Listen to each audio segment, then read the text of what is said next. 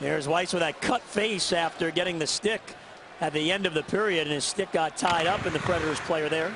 Number back, and that's where Stephen Weiss got caught at the end of the first period on the power play in front number 55, and White's going to reach his stick in late right here and just jab him right in the chops.